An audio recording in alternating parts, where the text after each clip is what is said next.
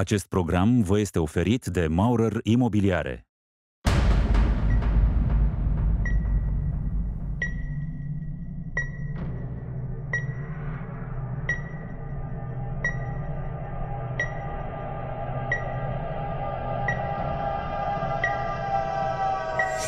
Educația este cea mai puternică armă ce o putem folosi pentru a schimba lumea, spunea Nelson Mandela. Iar eu sunt Consola Balașa și mă bucur să-ți spun bun venit într-o nouă ediție Mensana. Ediție care ne va educa, ne va informa și ne va ajuta așadar să aducem un plus valoare vieții noastre. De aceea te voi încuraja încă de la început să dai share acestei ediții pentru că ar fi păcat ca cei cunoscuți ai să piardă informațiile noastre. Și pentru că ținem foarte mult și la cultura generală, aduc în atenția ta evenimente importante care au avut loc pe data de 24 ianuarie. În 1848, la moara lui Suter din Coloma, California, s-a descoperit aur. Aceasta avea să ducă la goana după aur din California de la jumătatea secolului XIX. În 1859, adunarea electivă a țării românești se pronunță pentru alegerea ca domn a lui Alexandru Ioan Cuza, realizându-se astfel de facto unirea principatelor române. În 1862 are loc deschiderea primului parlament unic al României la București. Domnitorul Alexandru Ioan Cuza proclamă în mod solemn în fața adunărilor Moldovei și țării românești unirea definitivă a principatelor, iar orașul București este proclamat capitala țării. Pe 24 ianuarie 1946, adunarea generală a ONU adoptă prima rezoluție. Aceasta se referă la utilizarea în scopuri pașnice a energiei atomice și eliminarea armelor atomice sau a altor arme de distrugere în masă. În 1948 începe construcția fabricii de confecții Apaca din București, iar la 1 mai 1948 fabrica începe să producă. În 1984 a fost lansat pe piață primul computer Apple Macintosh. În 2010, Crina Coco Popescu, în vârstă de 15 ani, a escaladat cel mai înalt vârf al Oceaniei, Carstens Piramid, care avea 4884 de metri, din Indonezia, devenind astfel cea mai tânără alpinistă din lume care urcă acest munte. Recordul anterior era deținut de americanca Samantha Larson, care a urcat pe acest vârf în 2007 la vârstă de 18 ani. România celebrează astăzi Ziua Unirii Principatelor Române, dar și Ziua Academiei de Poliție. Și cu această informație vreau să anunț începutul rubricii Știați că... Știați că în creier nu există receptor pentru durere sau că 5 minute fără oxigen pot aduce daune irecuperabile creierului? Rămâi cu noi pentru că urmează mai multe informații interesante.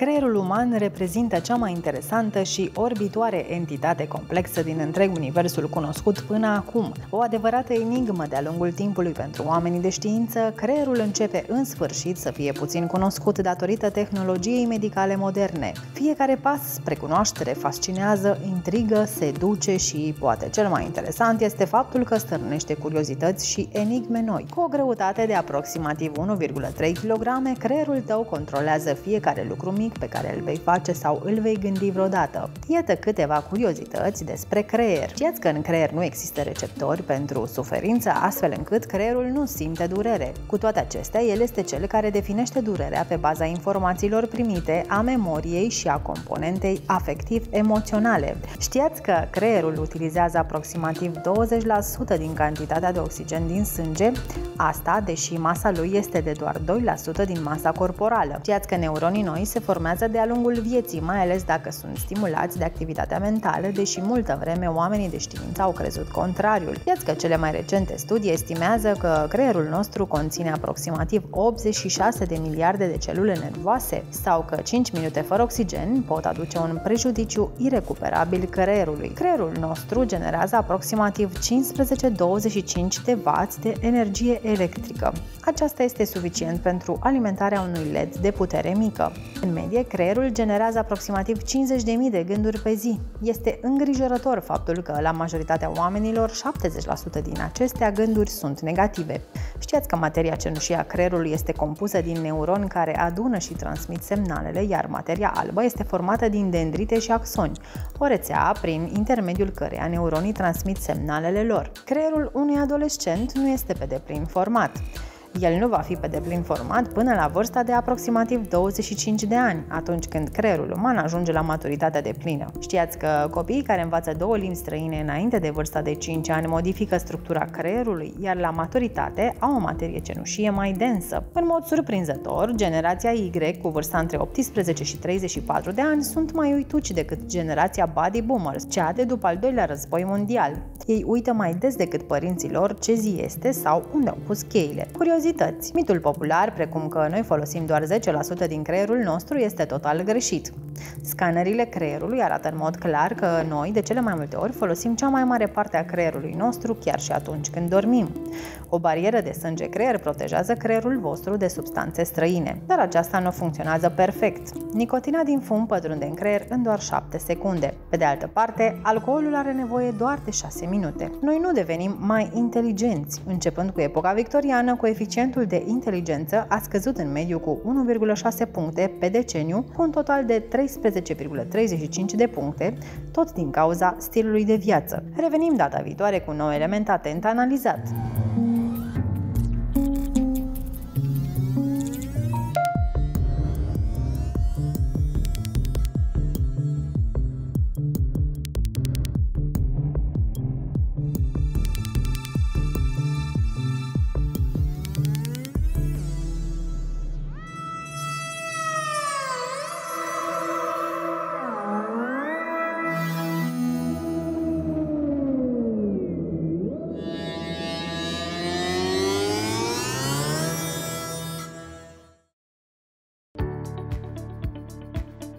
Apatia, o lipsă a interesului sau motivației, ar putea prezice începutul unor forme de demență cu mulți ani înainte ca simptomele să apară astfel oferind o oportunitate de a trata boala la stadiul incipient, potrivit noilor cercetări desfășurate de oamenii de știință coordonați de profesorul James Rowe de la Universitatea Cambridge. Demența frontotemporală este o cauză semnificativă a demenței în rândul oamenilor tineri. Afecțiunea este deseori diagnosticată între vârste de 45 și 65 de ani, aceasta schimbând comportamentul, limbajul și personalitatea, astfel declanșând impulsivitatea, comportamentul social neadecvat, comportamente repetitive sau compulsive.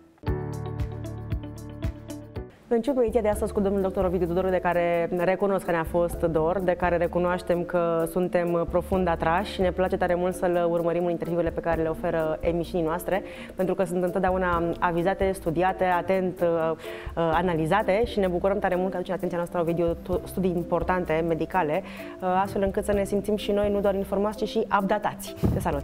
Te salut și eu mă bucur să vă regăsesc din nou uh, cu un tonus bun, cu un vibe bun. Sper ca tot anul să continue continue în acest fel. Obligatoriu, nici nu avem un control, adică este unica variantă pe care o acceptăm. Perfect. Ovidiu, am ales să vorbim astăzi despre mm, apatie și uh, mi spuneai tu așa printre rânduri că nu este doar o stare mm, neplăcută, uh, ci ea poate fi un factor care să ne dă înțeles că avem ceva, mm, că avem în viitorul apropiat potențialul de a dezvolta anumite patologii. Despre ce este vorba? Într-adevăr. Uh, bun, definind apatia, poate că ar fi bine să spunem de la început că reprezintă cumva o lipsă a dorinței, a entuziasmului, a motivației, a perspectivelor, a planificării, practic o, o deconectare de la tot ce înseamnă organizare, implicare, respectiv programarea activităților de zi cu zi, te deconectezi total. Uh, într-adevăr, dincolo de toți putem trece prin momente de apatie, uh-huh. dar uh, o stare continuă, apatică, poate reprezenta cu foarte mulți ani înainte un semn uh, premonitoriu de dezvoltare al unei forme de demență. Demența este stadiul final al mai multor patologii. Sunt foarte multe cauze care converg spre demență în cele din urmă, multe patologii, însă dacă vorbim de apatie, uh, în principal există o asociere între apatie și dezvoltarea demenței frontotemporale. Vreau să te întreb ce înseamnă apatie pe termen mai lung. Două zile, cinci săptămâni, șapte luni? Înseamnă o stare continuă. Asta înseamnă.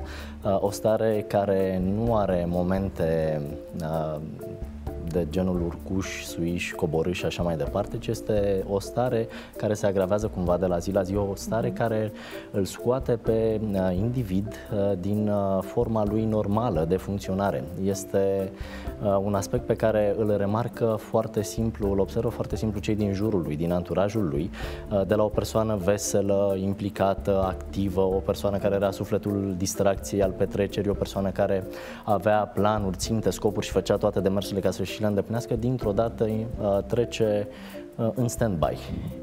Asta este starea care poate să ridice nenumărate semne de întrebare. Atenție, vorbim de uh, apatie, nu vorbim de depresie, pentru că, într-adevăr, mm-hmm. pot fi multe cauze. Poate fi vorba de depresie, poate fi vorba de anxietate, poate fi vorba de disfuncție tiroidiană sau de alte cauze care pot semăna cu apatia sau pot conduce către apatie.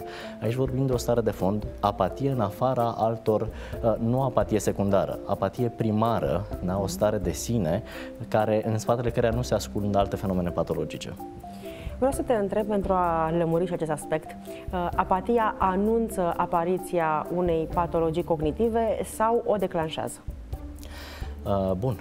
Uh, sunt intricate cumva cele două, dar uh, apatia cumva anunță mai degrabă, iar studiile spun următorul lucru cumva. S-a observat că la persoanele cu un grad sporit de apatie, o apatie progresivă, um, există și niște modificări la nivelul creierului.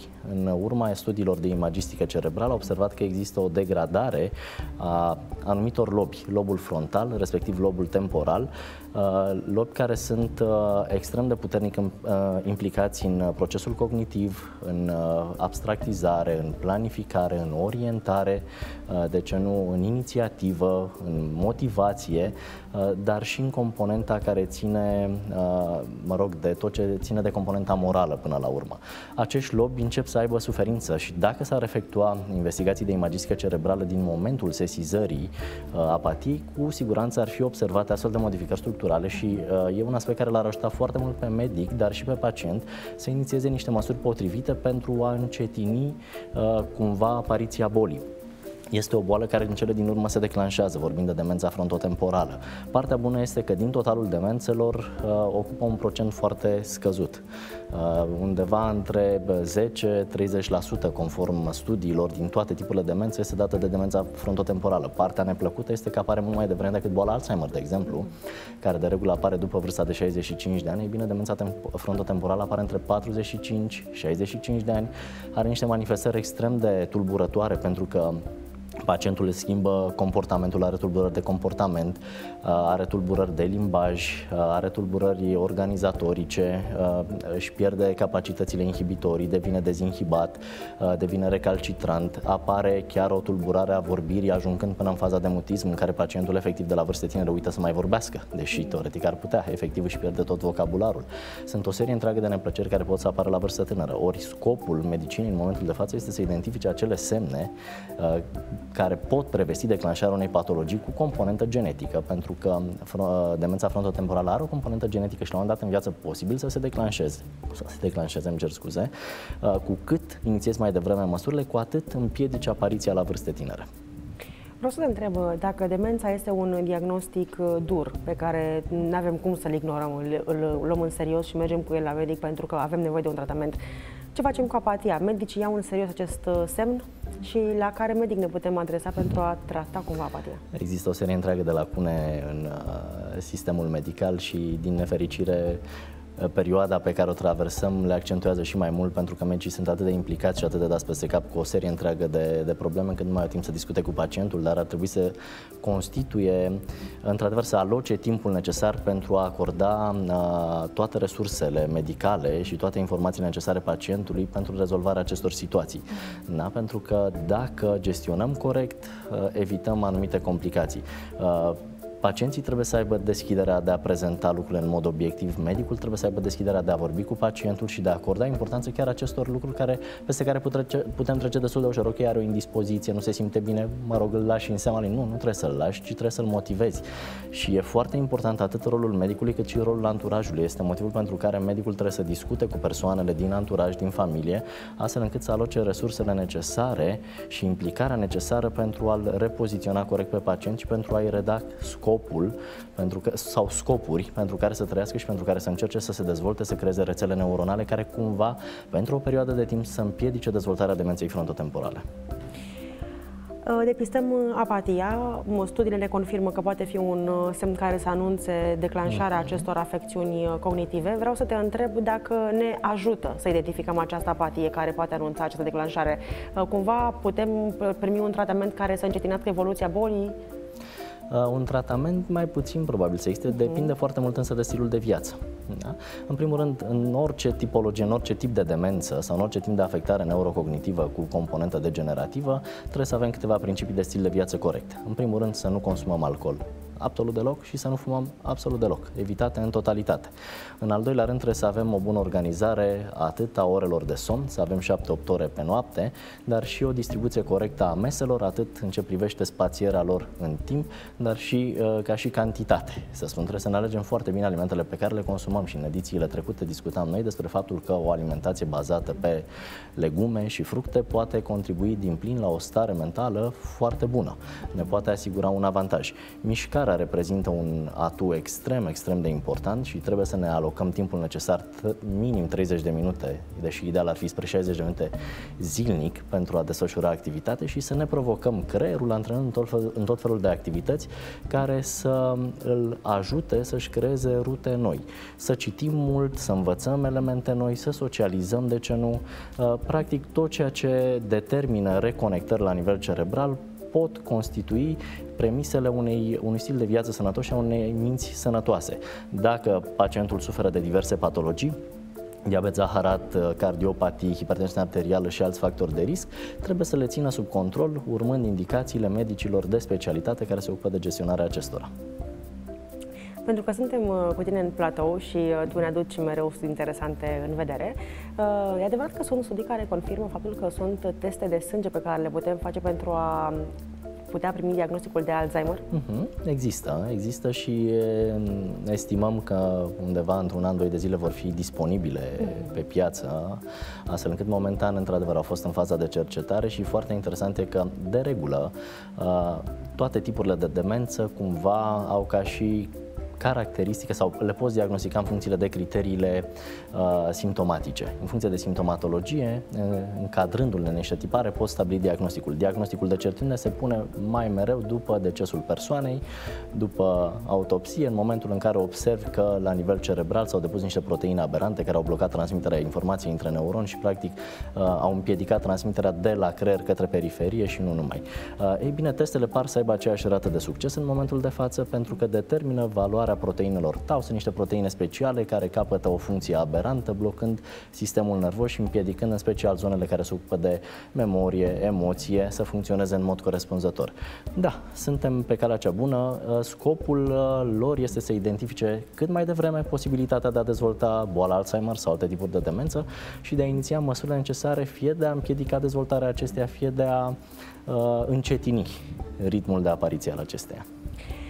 O întrebare pe care o consider complicată, dar bineînțeles cu direcție către mine, pentru că este ceva ce mă Așa. încântă și mă interesează în acest moment. Cum îmi pot păstra starea de bine astfel încât să nu par de pe altă planetă? O întrebare dificilă. Angajatorii își doresc uh, angajați cu picioarele pe pământ, își doresc oameni care să fie prezenți la locul de muncă și poate de multe ori uh, veselia pe care o manifesti poate fi considerată nepotrivită în locul în care te prezinți. Cum putem face acest echilibru? Cum îl putem găsi, să spunem? Cred că e foarte important să fii tu însăți sau tu însuți, indiferent de mediul în care lucrezi, pentru că e foarte important să transmiți angajatorului sau celor din jurul tău uh, valorile pe care tu le ai.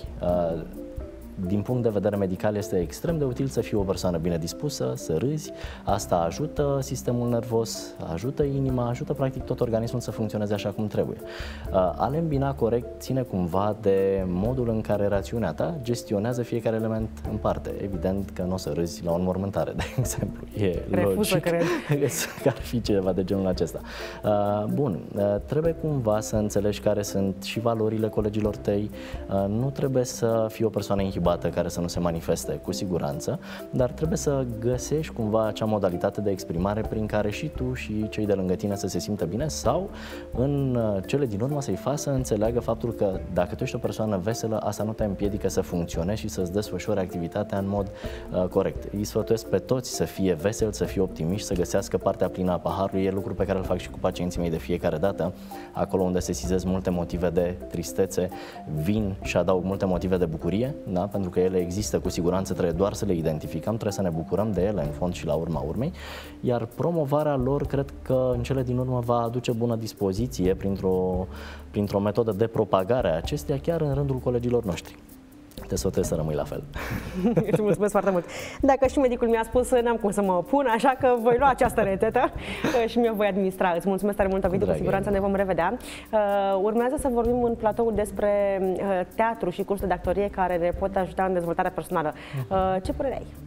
O părere minunată. E o nouă modalitate de a provoca creierul.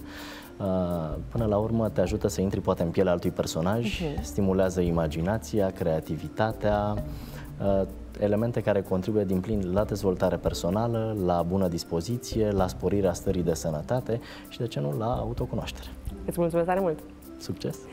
Tu rămâi cu noi pentru că, evident, continuăm ediția Mensana. Scapă de timiditate! Distrează-te! Nu mai fi introvertit, fi curajos! Nu are de ce să-ți fie rușine! Vorbește mai clar, iar ai prune în gură! De câte ori nu ai auzit aceste abordări din partea cunoscuților tăi sau și mai dureros din partea familiei tale și te simțeai neînțeles, parcă nu reușeau să vadă că și tu ți-ai dori să fii mai bun, mai clar, mai prezentabil, mai dezvoltat pe plan personal.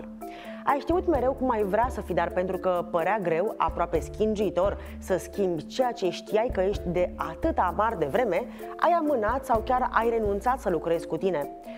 Îți aducem în atenție astăzi că există rezultate extraordinare făcând dezvoltare personală prin cursuri de actorie, teatru. Practic te joci, te împrietenești, exersezi, ajutat fiind și va începe să-ți placă de tine. Următorii mei invitați ne vor povesti ce se întâmplă la aceste cursuri, ce feedback au de la foști cursanți și cât de provocator poate fi pentru instructor un astfel de proiect dedicat tuturor celor între 12 și 50 de ani. Rămâi cu noi! Alături de mine se află Cosmin Cornici și Luana Lute, doi actori frumoși tineri, care ne vor vorbi astăzi despre dezvoltarea personală prin teatru sau cursul de teatru care să ne ajute să dezvoltăm această latură noastră personală. Vă salut, dragi și mă bucur tare mult pentru că sunteți pentru prima dată în platoul nostru. Bună și bine te-am găsit! Mulțumim și bine te-am găsit! Suntem tare încântați ce ne veți spune astăzi. Știu că veți veni cu vești bune către noi. Uh, este o perioadă în care auzim frecvent despre dezvoltare personală, despre merge la uh, psihoterapie, despre a dezvolta anumite capacitățile noastre, pentru că ne dorim ca în secolul 21 uh, să scoatem cea mai bună varianta noastră. Cum a început proiectul vostru? Ce conține și care este povestea voastră? Acum 9 ani, eu sunt cel care a inițiat echipa am început cu o grupă de șapte liceeni, ajungând acum să avem în jur de 100 de persoane care urmează acest curs. Uh, de-a lungul timpului acelor 9 ani s-au perindat foarte mulți, dar tocmai au venit pentru a-și dezvolta anumite lucruri, au ajuns acolo unde și-au dorit și automat au făcut loc, ca să spun așa, altor cursanți. Uh, deci totul a început ca o joacă. Eu eram student când am început acest proiect. Uh-huh. Eram în primul an de facultate. L-am început uh, fără să cunosc foarte multe despre domeniul dezvoltării. Dar apoi am văzut că acești tineri au foarte multă încredere în mine și vor mm, să se dezvolte și vor să creeze și așa și atunci m-am documentat și în felul ăsta am ajuns unde suntem astăzi la o trupă de 9 ani de zile. Cât de frumos! Când s-a alăturat și Luana? Luana s-a alăturat în anul 2020, tocmai pentru că aveam foarte mulți cursanți și aveam nevoie și de o prezență feminină Și de o mână dreaptă sigură. Exact, și de o altă gândire și de un aer proaspăt în echipă, nu doar de mine. Așa că s-a alăturat uh, și, uh, și Luana și mai avem o colegă, Irina, care la fel Uh, face și ea parte din echipa noastră de instructori și ne ocupăm de, și de tinerii și de adulții care au nevoie de dezvoltare personală sau care vor să se distreze, de fapt. Pentru că toată dezvoltarea vine și dintr-o distracție a lor. Sună minunat și vreau să aud uh, care este și impresia Luanei la aproape un an, bănuiesc. Este foarte bună și eu sunt foarte fericită că am avut șansa să-l cunosc pe Cosmin în primul rând și că am aflat de Artesium prin el. Uh, eu am avut uh, șansa să fac parte dintr-o trupă de teatru în liceu uh-huh. și uh, fix prin dezvoltarea personală de care vorbim acum am trecut și eu, fără să-mi doresc, a fost, uh, s-a nimerit, eu am intrat în trupa de teatru pentru altceva, dar uh, automat am trecut și prin lucrul ăsta și fiind uh, rezultatul a acestui lucru, mi-am dorit foarte mult să pot să dau și eu mai departe tot ajutorul și tot binele pe care l-am primit eu, dacă pot să o fac, mi-am dorit foarte mult să pot să fac asta și eu la rândul meu. Cred că este primul semn că dezvoltarea personală este acolo unde trebuie atunci când îți dorești să dai mai departe, ceea ce ne bucurăm tare mult că acest fenomen, acest proces uh, atinge aceste cote. Vreau să vă întreb dacă sunt studii care confirmă eficiența teatrului în această dezvoltare personală pe care ne-o dorim cu toții. Studii nu există concret, pentru că nu a uh, stat nu să studieze. Exact. Și nu s-a dezvoltat foarte mult în zona de România. A apărut acum câțiva ani acest trend, ca să spun așa, de dezvoltare personală prin actorie. Uh-huh. Trend care momentan se manifestă mai mult pe partea de București decât în alte județe. Chiar sunt multe județe din România încă în care nu există acest curs și unde ar trebui să... fie implementat. Exact. Momentan noi am început să mergem către Brașov acum, către Constanța, adică încercăm să ne extindem activitatea, pentru că fiind 3-4 oameni care ne ocupăm de acest lucru, ne este destul de greu să, să plecăm. Mai ales că noi facem asta suplimentar, nu ne ocupăm doar de acest lucru în viața noastră personală, fiind actori profesioniști și mergând pe zona asta, ci mai mult acum pe partea din weekend îi ajutăm mai mult pe cei care au nevoie de, de dezvoltare. Și tocmai noi am văzut rezultatele lor, deci aș putea spune că acesta este, aceasta e cercetarea, fix pe client, ca să spun așa, fix pe fiecare cursant în parte. Am văzut că și-au dezvoltat dicția, am văzut că și-au dezvoltat uh, controlul emoțiilor sau au început să-și exprime sentimentele pe care le au, pentru că foarte mulți se tem de a se arăta cine sunt cu adevărat și tocmai de asta devin introvertiți, uh, emotivi și îi corectăm pe absolut toate aceste paliere, tocmai pentru că, cum am spus, teatrul este mai mult o joacă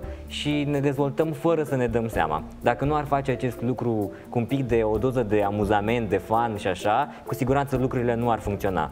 Adică uh, n-ar trebui venit cu scopul din start, uh, eu vreau să ajung în punctul respectiv, voi ajunge o să ajungi în momentul în care nu o să-ți dai seama în acel punct, în care ți-l dorești și cel mai bun pentru tine în, în momentul respectiv, pentru că vom avea de învățat oricum pe tot parcursul vieții, dar în urma cursurilor se învață o altfel de experiență, un contact uman, un contact cu un eventual public, pentru că ei joacă și în piese de teatru pe lângă exercițiile de dezvoltare și cred că ăsta este un element foarte important. Vreau să vă întreb uh, cum sunt gândite aceste cursuri, uh, cum sunt concepute, care este povestea din spatele lor, cum se desfășoară ele.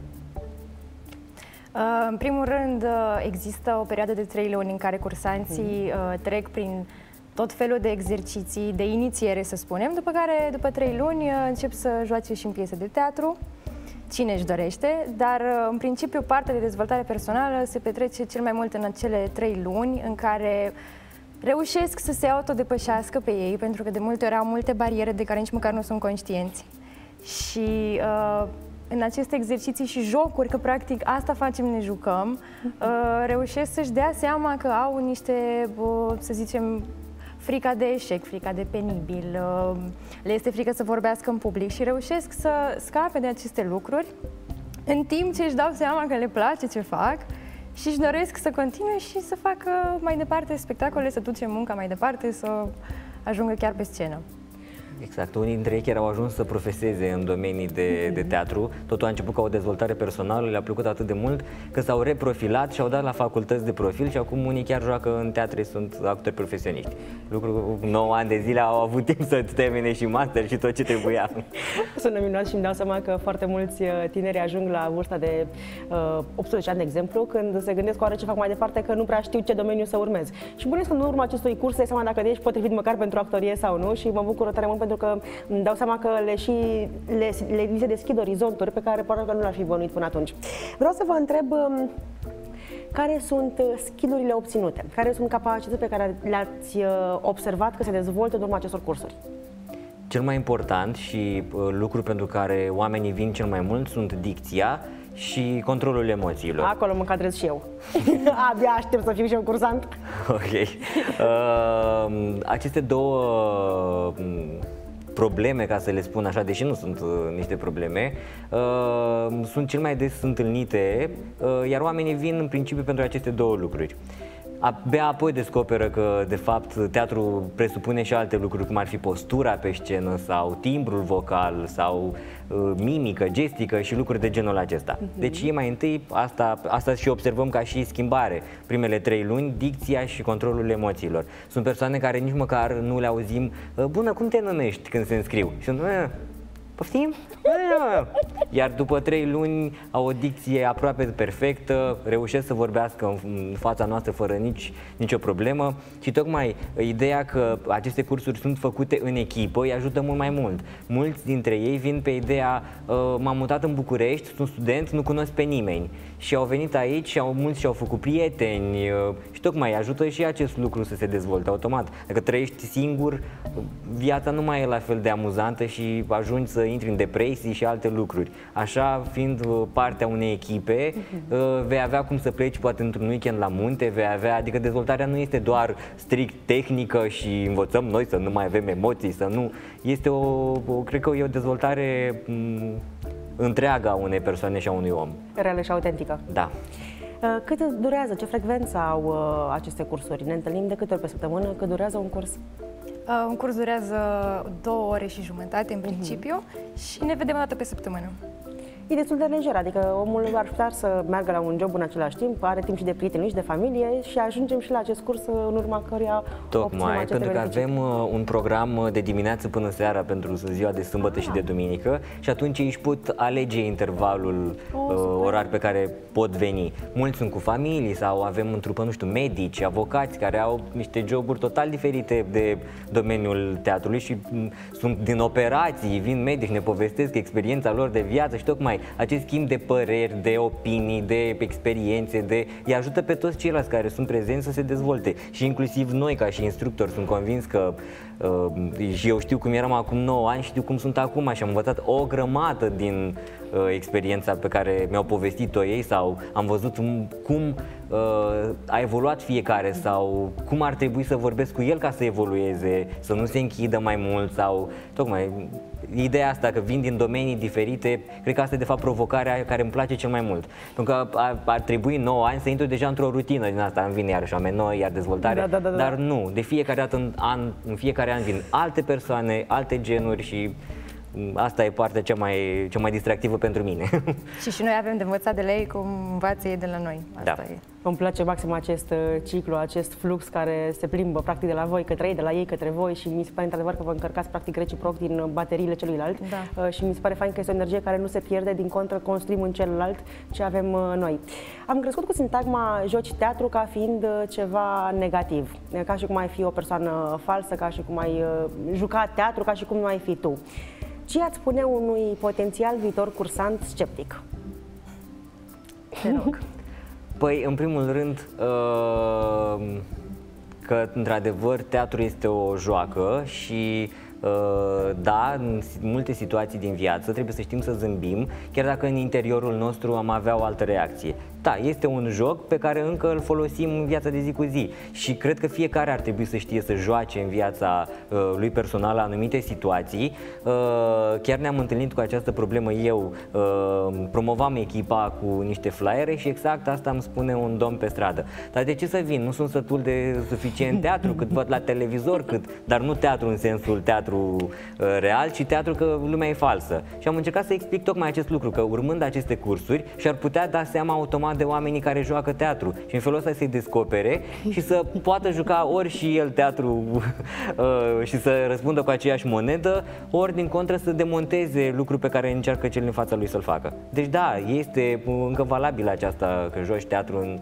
este perfect și chiar avem nevoie să jucăm teatru de foarte multe ori, nu să fim neapărat cei reali, pentru că am putea avea foarte mulți nervi și să reacționăm la nervi. Asta nu înseamnă că e un lucru bun. Dacă în momentul respectiv ne putem abține uh, starea respectivă, emoția, exact ce vorbeam de controlul emoțiilor și noi îl gestionăm, poate că în 5 minute vom reacționa altfel. Vom reacționa fix corect. Avem timp să judecăm, avem timp să reflectăm asupra lucrului pe care l avem de făcut.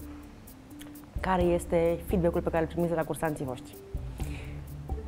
Bun, în principiu este foarte bun. Chiar am, uh, acum de sărbători am primit uh, destul de multe mesaje frumoase de la cursanții mei care îmi mulțumeau. De exemplu, am o, am o doamnă care este chiar medic și mi-a scris că a avut uh, de făcut o prezentare și mi-a mulțumit foarte mult că a, a ajutat-o foarte mult tot ce am, am reușit să-i transmit și că îmi mulțumește mult că prin acest uh, intermediu a reușit să-și gestioneze în primul rând emoțiile și să, uh, să facă față cum nu ar fi putut înainte. Da, iar eu am feedback din partea părinților care vin peste o lună, două de la începerea cursului, Doamne, ce ai făcut copilului? Că acum vorbește în casă, nu mai tace, repetă rolurile, mă cheamă, mama, dă text cu mine, ajută-mă să învăț textul. Lucru care mi se pare foarte funny, pentru că este. părinții nu spun acest lucru ca un lucru negativ, ci din contră. Tocmai copiii erau numai în fața calculatorului, numai pe telefon, acum fac cu totul altceva și părinții sunt super încântați de uh, transformarea pe care o au copiii chiar într-un timp foarte scurt. Știam, mă, colegii la ei, mă rog, acum pandemia, din păcate, n-am mai putut, uh, dar și și-au chemat colegii, dădeau text împreună, ieșeau în parc, repetau pe iarbă verde, pe... Tocmai e un lucru și feedback-ul vine în primul rând din rezultatul pe care eu îl văd uh, de la cursanți. Dacă în 5 luni îmi spun gata, eu nu mai vreau să mai vin la cursuri, nu sunt trist. Uh, sunt fericit că pleacă cu niște lucruri învățate ori de la mine, ori de la ceilalți instructori sau nu, poate, nu știu, nu am avut până acum un feedback negativ, Ehm, dar cred că feedback-ul ăsta al dezvoltării și toate calitățile pe care ei le capătă la acest curs, uh-huh. cred că sunt cel mai bun feedback pe care noi îl putem primi și cel mai bun feedback este numărul foarte mare de studenți care mi-au intrat la facultăți de, uh-huh. pentru că i-am pregătit tot anul să intre și intră toți cei care au dat până acum au intrat la facultăți de profil și cred că ăsta este lucru uh-huh. pentru mine cu care mă mândresc cel mai mult. Cred, și și încarc în același timp. Da. Uh, care este vârsta minimă pentru că mi-ați spus despre adolescenți? Care este vârsta maximă? Vârsta maximă este 50 de ani momentan. Iar minimă 12 momentan. Cum ați hotărât-o? Păi, uh, repetițiile noastre s-au desfășurat într-o universitate din București uh-huh. și automat că am avut limită impusă acolo ca să fie gălăgie, copii mici uh-huh. și lucruri de genul ăsta și plus că pentru 12 ani uh, în jos, ca să spun așa ca și vârstă, uh, e necesară o altă pregătire de educator mai mult decât a unui instructor de actorie și automat că dezvoltarea uh, pentru vârsta de șapte ani este puțin inutilă pentru că ei încă sunt în schimbare. Dinții se vor schimba automat, dicția se va schimba și iau dată cu dinții. Uh, multe lucruri. Nu ne putem da seama de un copil care se joacă cu niște mașinuțe pe jos dacă va fi introvertit la 12 ani sau nu. Pentru că va fi o schimbare totală. Noi cunoaștem, v-am spus, avem uh, în echipă oameni care sunt, nu știu, de 8 ani. Deci vă dați seama că i-am luat la 12 ani și acum au 20 și s-au schimbat fenomenal în 8 ani de zile. Asta e ideea. Tocmai de asta mergem de la 12 ani în sus, ca să putem vedea exact ce putem dezvolta. Iar maximul de 50 este pentru că restul persoanelor mai sus de 50 deja nu mai sunt interesați de acest lucru sau uh, lipsesc foarte mult, că am încercat să facem și peste 50 de ani, doar că nepoți, apar alte lucruri alte și automat, priorități. exact, au alte priorități. Iar dezvoltarea deja la 50 de ani nu ar mai fi utilă, pentru că au cam toată, tot pachetul de informații de care au nevoie. Vreau să vă întreb, uh, încerc cumva să îi ajut pe cei care urmăresc în acest moment să iau o decizie din necunoștință de cauză, pentru că, da, îi încurajez să se întâlne aceste cursuri de actorie. Vreau să vă întreb care sunt problemele pe care le întâmpinați. Nouă ne place să știm și cumva așa lucruri din culise. Eu cred că în principiu este uh, viața pe care o au pe lângă și neprevăzutul vieții, Uh, mulți ajungând la un moment dat ori să nu mai vină din acest uh, motiv, ori să lipsească. Li se modifică programul la mun- muncă și automat că noi am distribuit poate într-o piesă, mm. lucrurile cum am spus se fac în echipă și automat că echipa simte lipsa în momentul în care pleacă un coechipier, toată lumea îi va simți lipsa. Și cred că ăsta este momentan cel mai mare uh, impediment pe care eu l-am găsit la cursuri, dacă Luana are altă părere. Nu, asta vreau să spun și eu și de asta încercăm să le explicăm de la început că e foarte important spiritul de echipă și că teatru se face împreună, nu singur, nu e sport individual și că dacă intră în lucrul ăsta trebuie să fie dedicați și să știe că dacă uh, cineva pleacă, poate să pericliteze toată munca celorlalți și trebuie să fie uniți, pentru că așa, așa reușești să te dezvolți cel mai bine, învățând și văzând exemple și lucrând împreună. Teatru se face împreună. În noua de zile ați avut și voi măcar o nuntă pe acolo. Da, eu am avut. Da? Uh, nu doar nuntă. Uh, s-au cunoscut în trupă, uh, s-au căsătorit, acum au și copil de 3 ani de zile, deci da. Să le trăiască și felicitări! Mulțumim și da, este, am avut și astfel de experiențe, foarte multe. Fiind la finalul interviului, vreau să vă întreb uh, cum ați uh, descrie candidatul ideal pentru cursurile voastre de actorie. Eu aș spune să aibă dicția proastă ca să avem ce să corectăm, să fie emo- emotiv ca să-i putem corecta emoțiile, dar cred că cel mai important este să vină cu energie și Cu dorința. deschis. Exact, deschis, deschis. către absolut uh, toate exercițiile, jocurile și propunerile pe care noi le avem. Mă bucură tare mult prezența voastră în platoul nostru, mă bucură tare mult prezența voastră în emisiunea mea, pentru că recunosc că ați venit cu o pată de culoare, uh, printre foarte multe discuții serioase cu oameni serioși pe care îi apreciez enorm. Ați uh, venit uh, voi cu acest zâmbet larg pe care îl aveți și cu această dicție perfectă pe care o invidiez din plin de când ați intrat în platoul nostru. Uh, Cu siguranță ne vom revedea. Vreau să vă întreb uh, însă când se, înscriu, când se termină înscrierile. La sfârșitul lunii ianuarie Oh. este ultima etapă de înscrieri. Uh, Până atunci se uh, mai pot înscrie, după aceea se vor forma grupele și evităm să aducem persoane noi, tocmai pentru că ar trebui să înceapă cu baza pentru a ajunge uh, la vârful exercițiului, ca să spun așa, și la vârful dezvoltării. Uh, Dacă vor începe lucrurile pe drum, vor pierde multe elemente importante. Deci până noi avem de obicei cam două etape de înscriere, în luna ianuarie și în luna septembrie Perfect. a anilor, a anului de fapt. Așa că anul ăsta e- începem cu ianuarie. Mai au o săptămână să se înscrie Mai au, și da. sperăm din suflet că ne urmăresc în acest moment, iar dacă poate ție nu ți se potrivește acest curs, cu siguranță îl poți recomanda altora care simți că ar avea nevoie sau că s-ar bucura într-un astfel de cerc. Vă mulțumesc tare mult, dragilor! Mulțumim și noi. Ne revedem cu drag! Da. Tu rămâi cu noi pentru că, evident, continuăm ediția Mensană. Eu țin foarte mult la visele mele și consider că toată lumea ar trebui să facă acest lucru. Cel mai important este să ai încredere în tine și oricând lucrurile sunt stresante, relaxează-te, ascultă muzică și o să fie bine. Cui credeți că aparține citatul? Până acum a avut trei super proiecte, un film, o reclamă și o emisiune pentru copii. În viitor își dorește să fie actriță, să aibă un pet shop, o companie de designing de interior și să fie mamă. În prezent este ambasador hospice Casa Speranței și deja cunoaște satisfacțiile, dar și sacrificiile pe care le implică angajamentul de voluntar. Rămâi cu noi pentru un invitat cu adevărat deosebit și inedit. Alături de mine se află Maia Noel Prediger, un nume deosebit, dar și un invitat deosebit. Îți mulțumesc tare mult, Maia, că ești alături de noi. Recunosc că este prima dată când am un minor în platou, dar mai mult decât atât este pentru prima dată când am un invitat care nu atinge podea în momentul în care stă pe scaun. Îți mulțumesc mult că ești aici. Mulțumesc și eu. Vrem să o cunoaștem pe Maia Noel Prediger și cred că ești persoana cea mai potrivită care poate să ne vorbească despre ea. Cine este Maia Noel Prediger? Păi, Maia Noel Prediker este o fetiță de 13 ani um, care uh, a jucat până acum într-un film, într-o reclamă și într-o emisiune pentru copii. Și um, cam atât. Adică Și îți place să trăiești și îți place să nu refuzi ofertele care vin către tine, adică provocările, practic, care te, te așează într-o lumina unui reflector și ulterior în spatele reflectorului se află și o cameră care te filmează. Mi-a fost teamă să-ți spun actriță, pentru că mi-era teamă că voi pune pe umerii tăi o povară, poate prea mare pentru un copil, dar îmi dau seama că este un rol pe care ți-l atribui foarte bine, ți-l însușești cu adevărat și mă bucură tare mult această bucurie pe care tu o aduci astăzi în platoul nostru. Vreau să te întreb, Maia, noi suntem într-o emisiune medicală și ade- deseori punem accentul pe sănătatea uh, noastră mentală într-un corp sănătos. Ce te face fericită? Pentru că fericirea este foarte importantă pentru sănătate.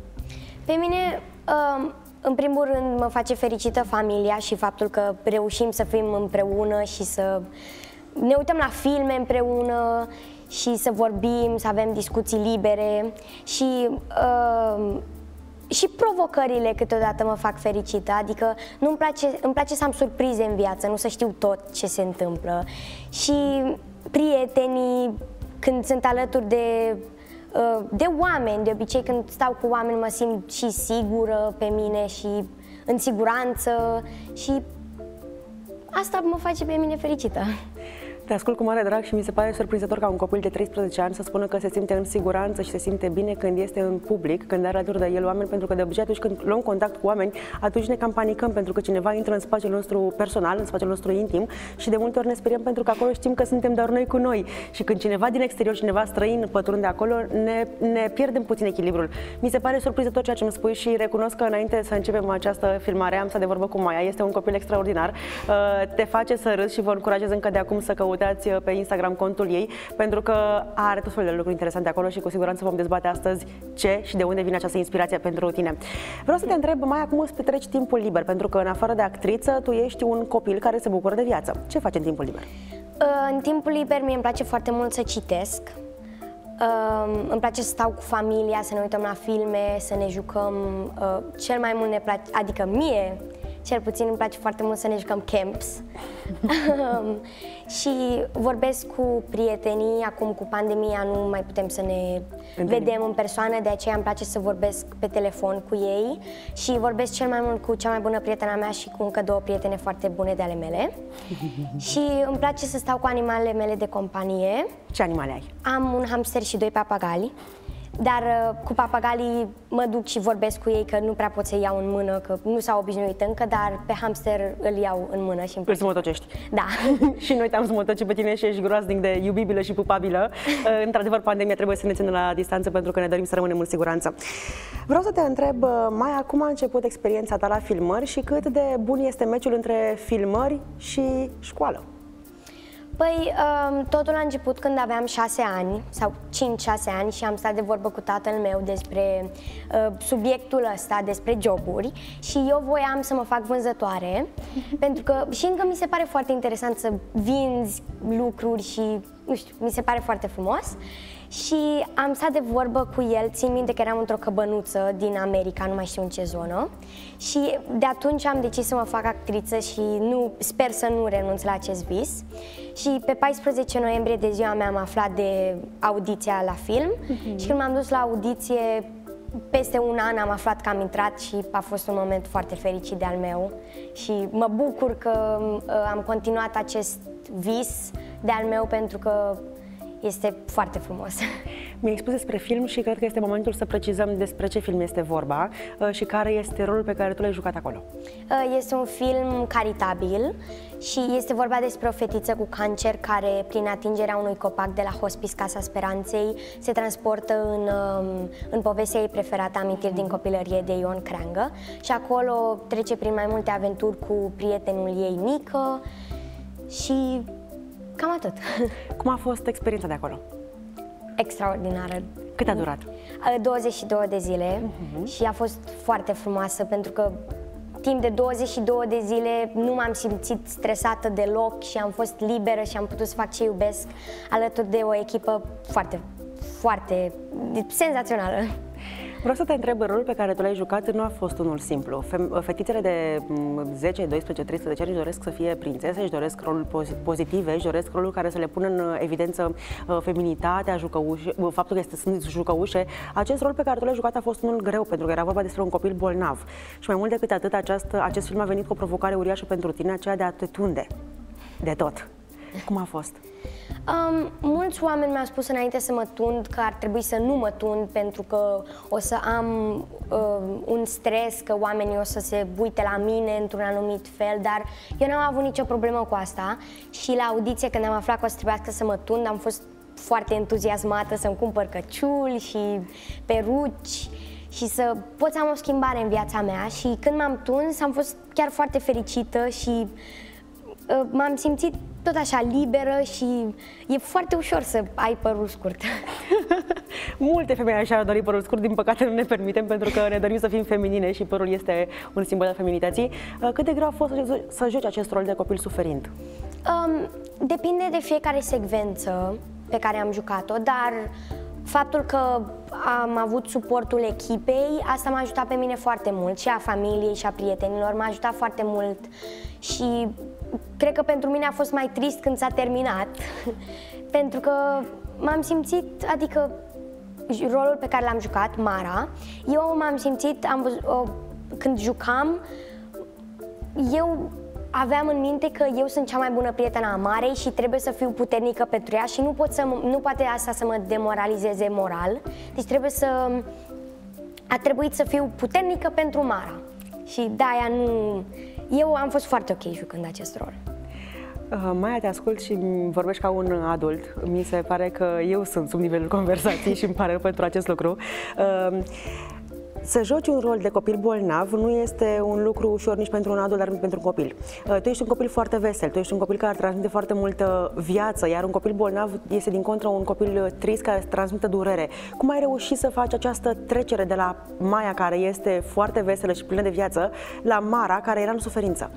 Păi, um, în secvențele mai grele, regizorul m-a ajutat foarte mult și îmi povestea mai multe lucruri și nu știu cum și de, adică știu de ce, dar de fiecare dată când îmi menționa fratele, aveam așa o emoție în mine și încă am o emoție pentru că eu cu fratele meu avem o prietenie, cum s-ar zice, așa foarte importantă și asta m-a ajutat să, când mă gândeam la, nu știu, ceva foarte rău cu fratele meu, asta mă făcea foarte tristă, dar mm. au fost și secvențe fericite care, uh, care și astea m-au ajutat să continui să fiu fericită. Ești minunată. Uh, care este sau cine este cel mai mare model al tău? Cel mai mare model al meu este um, bunicul meu din partea mamei mele. Eu am mulți oameni care mă inspiră, dar cred că el mă inspiră cel mai mult. De ce? Um, pentru că el a vrut să facă actor, dar n-a reușit să-și termine acest vis și consider că eu a trebui, eu trebuie și eu vreau să-i continui visul și să-l și termin și eu vreau să am multe joburi în viață, vreau să am vreau să am o companie de designing de interior, să am un pet shop, să fiu și mamă și mulți îmi spun că asta e greu și că ar trebui să renunț la câteva vise de ale mele, dar de fiecare dată îl dau exemplu pe bunicul meu, care a avut multe joburi în viață. Te ascult cu mare drag și cu siguranță nu ne ajunge o ediție de o oră jumate ca să aflăm uh, toată această sursă inepuizabilă de energie și bucurie pe care tu ne transmiți astăzi. Vreau să te întreb cum faci față școlii. Acest film s-a filmat în timpul uh, pandemiei, când uh, școala se întâmpla în mediul online. Te-a ajutat sau te-a încurcat? Uh, nu, m-a, nu m-a încurcat chiar deloc. Cred că m-a și ajutat pentru că am învățat multe pe platou despre ce vreau eu să fac în viață. Și când m-am întors la școală, este adevărat că a trebuit să îmi copiez lecțiile pe caiet și să recuperez un pic, dar am am reușit foarte repede să fac acest lucru și nu mă așteptam, sincer să fiu, dar cred că chiar m-au ajutat și profesorii pentru că nu m-au stresat foarte mult și au fost foarte înțelegători cu mine. Și mi-a fost ușor să mă să reușesc să fiu la zi cu lecția și să înțeleg. Am înțeles chiar toată materia și nu prea m-a încurcat filmul și poate și entuziasmul cu care veneai de la filmări te-a ajutat să recuperezi mai repede pentru că aveai bateriile încărcate și erai pregătită de, de a te întoarce la școală. Mi-ai spus că îți place mult să citești și pentru un actor este foarte important să citească și să cunoască diverse personaje, diverse roluri, diverse povești pentru a se transpune, bănuiesc, în diversele uh, istorisiri pe care le citești acolo. Vreau să te întreb dacă școala și programa școlară te încurajează în această direcție. Te lasă mă... să citești ce vrei tu? Um, păi mă și încurajează să citesc mai mult, dar câteodată, adică ei ne dau Uh, pe semestru câte trei cărți, una la, două la engleză și una la română, dar noi nu avem libertatea să putem să, uh, să alegem aceste cărți, ceea ce pe mine mă întristează puțin, pentru că am o bibliotecă pe care vreau să o citesc și după când vin și cărțile de la școală, nu mai pot să citesc și de-aia câteodată mă grăbesc un pic să citesc o carte ca să reușesc să o termin înainte să trebuiască să trecem în al doilea semestru când primim alte cărți, dar mă și îndeamnă să citesc și câteodată sunt, de cel mai multe ori sunt cărți foarte interesante și la școală. Pe lângă film ai jucat și într-o reclamă. Ce ne poți spune despre ea? A fost o reclamă pentru campania Salvați Copiii și povestea a fost Fetița cu chibrituri. A fost tot așa o experiență foarte frumoasă și în ultima zi țin minte perfect că m-am distrat foarte mult. A fost, am jucat cu doi actori de vârsta mea și m-am distrat foarte mult cu ei și mi-a plăcut foarte mult, adică e, a fost o experiență nouă și eu consider că fiecare proiect este un pas spre succes și um, a fost, sinceră, nu știu de ce, dar de fiecare dată când pictez ceva și mă murdăresc pe mâini, mă face să, mă, să fiu fericită pentru că am, văd că am muncit la acea pictură și mă face să fiu copil și acolo trebuia să fiu destul de murdărică pe mâini și asta m-a bucurat așa într-un fel și m-am bucurat pentru ceva nu foarte, ceva mic pentru unii, dar pentru mine a fost un lucru mare. Că... Că te jucai cu ce-ți plăcea ție. Da. Uh, din nou, un rol uh, trist, un rol cu durere. Cum a fost? A fost, uh, a fost foarte bine.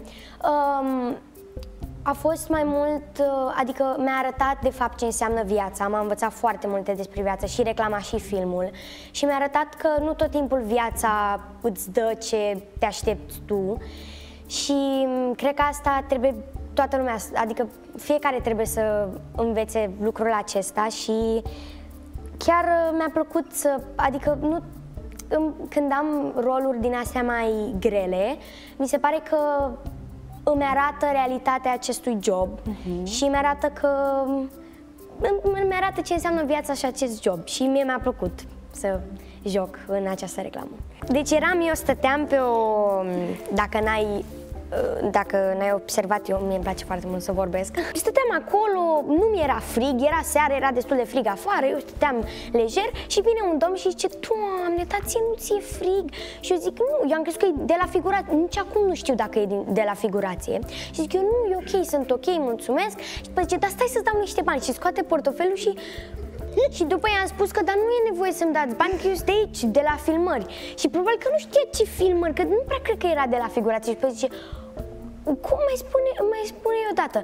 Și după am spus, sunt de aici, de la filmări și nu am nevoie de bani, adică sunt ok. Când jucam, eu chiar cred că lor le era milă pentru că ziceau că Amolo, nu, nu refuz eu, dar nu pot să o refuz eu. Și se uitau așa pe... eu mă gândeam acolo... E un rol, eu sunt exact. actriță. Exact. Vreau să te întreb, mai ce actori îți plac și cu ce actor te vezi jucând? Um, Sper din tot sufletul meu ca eu când crez mare să joc cu Emma Watson sau cu Jennifer Aniston. Um, de când m-am uitat la Harry Potter, am început să o admir foarte mult pe Emma Watson și de aceea chiar mi-am pus această bluză pentru că am văzut uh, mai multe filmulețe cu ea purtând, blu- purtând bluze de genul ăsta și am primit-o de la mătușa mea și când mi-am dat, mi-a, mi-a dat-o am fost foarte fericită și um, sper să joc cu ea în viitor pentru că chiar și văzând-o vorbind la emisiuni sau jucând, pe mine mă învață multe. Îți dă foarte bine cu această bluză și te încurajez să o porți cât mai mult uh, și îți stă foarte bine în alb.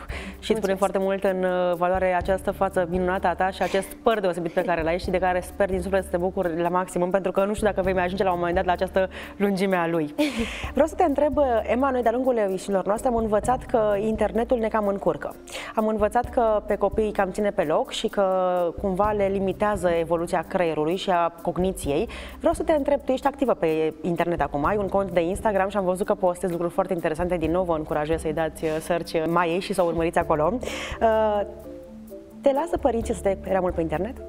Um, eu în ultimele săptămâni chiar am zis să stau maxim 3 ore pe telefon um, și părinții mei mai spun din când în când să nu stau așa de mult, dar când e să vorbesc cu prietenele mele mă mai lasă să stau și um, adică Mie nu prea, nu consider că ar, ar trebui ca eu să îmi pierd timpul cu telefonul și de aceea îmi place să-l las deoparte, să mă duc, să mă uit pe geam, să citesc, mm-hmm. să îmi fac temele, să zicem, să stau cu familia și de fiecare dată când colegii mei îmi spun că cât de mult stau pe telefon, mi se pare puțin cam exagerat pentru că nu m-aș vedea pe mine stând, nu știu, 10 ore pe zi pe telefon, mm-hmm. că nu, nu-mi place și cred că nu neapărat părinții trebuie să ne spună, să ne certe să nu stăm pe telefon. Consider că dacă noi copiii reușim să ne facem un program și să uh, reușim să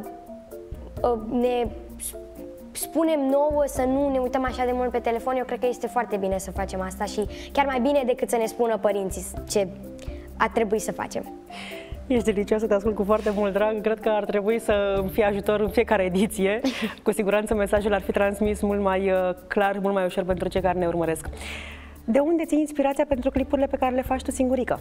Um, păi, de la profesor, dar bine, nu toți profesorii sunt așa și recunosc că mai și exagerez puțin în filmulețele mele, dar um, eu fac filmulețele cu lucruri care pe mine mă deranjează la școli și cred că și pe alți copii deranjează, dar um, vreau să încep să fac și altfel de filmulețe, adică nu doar cu profesori și cu, nu știu, și cu prieteni și cu copii din generația asta și îmi iau inspirație de la școli și când sunt alte lucruri, de exemplu, uh, când sunt lucruri despre mine, îmi iau inspirație de la mine și încerc să mă duc într-un punct al meu um, adică să descoper lucruri noi despre mine și să le pun în, uh, să le scot în evidență într-un filmuleț.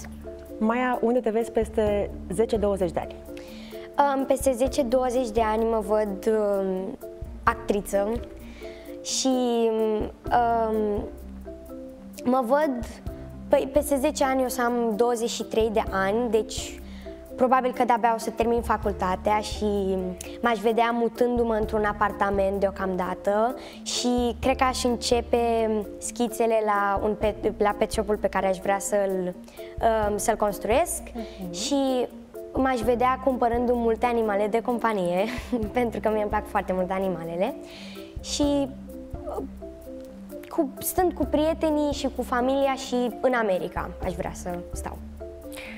Sperăm totuși să te avem și pe meleagurile noastre, pentru că ne vom bucura cu siguranță de prezența ta și de a, a toate aceste calități pe care tu, tu le ai. Care sunt pasiunile tale și cât de mult îți dorești să ți le duci până la capăt?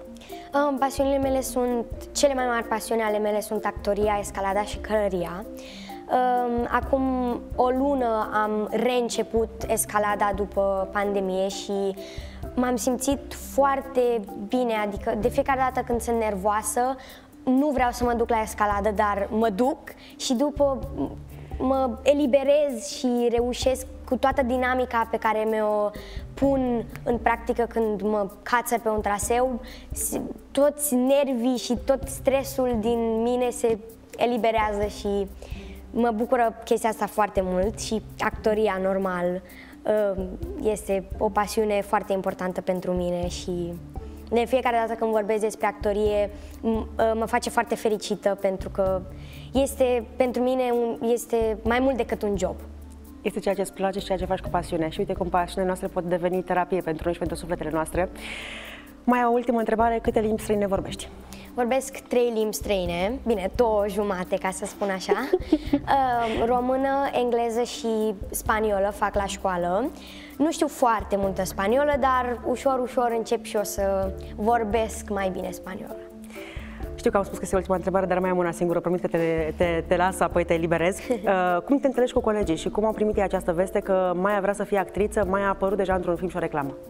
Păi, eu mă înțeleg foarte bine cu colegii mei, adică consider că suntem o gașcă și o familie. Uh, și când eu am aflat de acest film, țin minte că încă eram la școală, a fost în 2019 când am aflat și țin minte că eu când m-am dus la audiție mi-au urat succes. Și asta m-a bucurat foarte tare că am știut că sunt acolo pentru mine.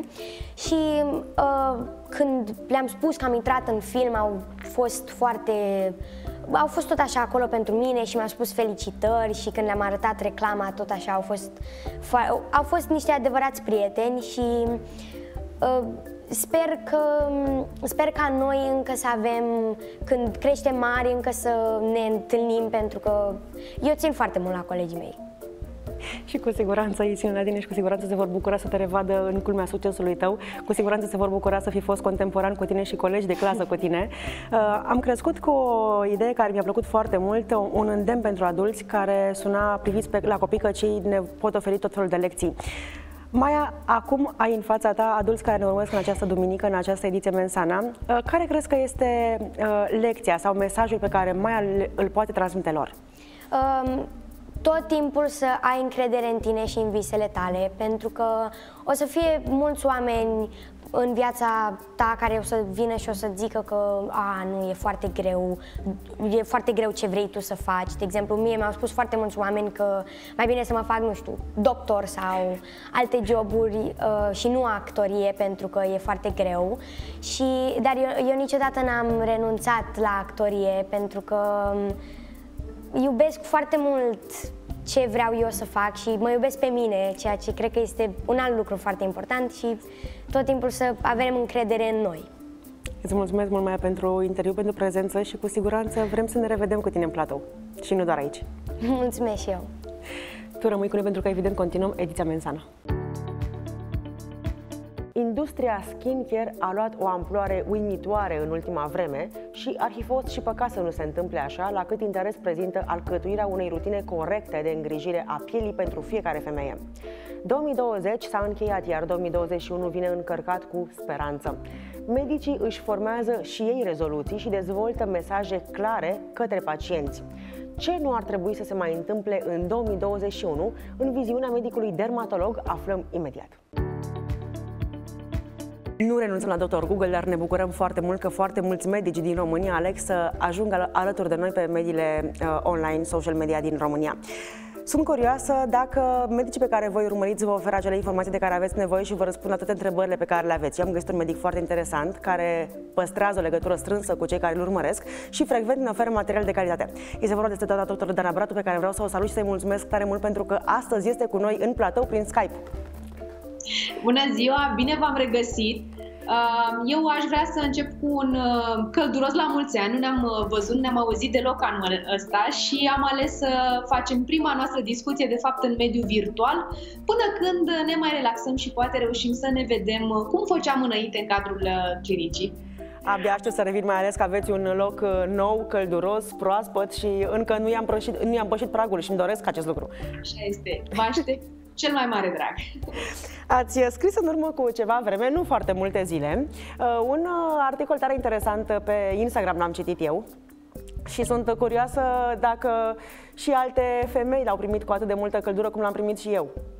Uh, da, eu așa cred. A fost, de fapt, un înlocuitor pentru clasicele rezoluții pentru anul următor. Pentru așa făceam, nu? La final de an stăteam și trăgeam o linie și ne gândeam ce am vrea noi să îmbunătățim în anul care va urma. Bine, pot fi lucruri care se țină de partea personală, profesională sau clar, oricum vorbim despre o îmbunătățire în ceva. Ei, în ceea ce mă privește, pentru că sunt medic dermatolog și sunt și pasionată de skincare, am tras așa o linie și m-am gândit că în anul 2020 au fost niște trenduri care au urcat foarte brusc odată cu dezvoltarea canalelor de social media uh, și mă refer aici la TikTok, um, trenduri care au fost destul de dăunătoare și mie mi-ar plăcea să trag un semnal de alarmă uh, și să trezesc mai ales tinerele, pentru că ele sunt cele care sunt mai deschise la platformele noi uh, de social media să trag acest de semnal de alarmă și să le ajut un pic să se orienteze într-o rutină de skincare mai sănătoasă, să nu mai facă greșeli măcar. Și dacă ar fi să începem, chiar aș vrea să menționez primul trend care mie mi s-a părut uh, exagerat în, în 2020 și anume folosirea exfolianților. Pe o, orice pagină pe care o deschideam, uh, vedeam uh, îndrumări legate de faptul că trebuie să te exfoliezi. Ca și cum noi am fi un șarpe care constant am avea piele în plus și ar trebui cumva să o dăm jos. Este adevărat că până la urmă pielea noastră la 28 de zile se regenerează, se exfoliază, dar exfolierea asta se întâmplă la nivel microscopic, noi nu o vedem mereu.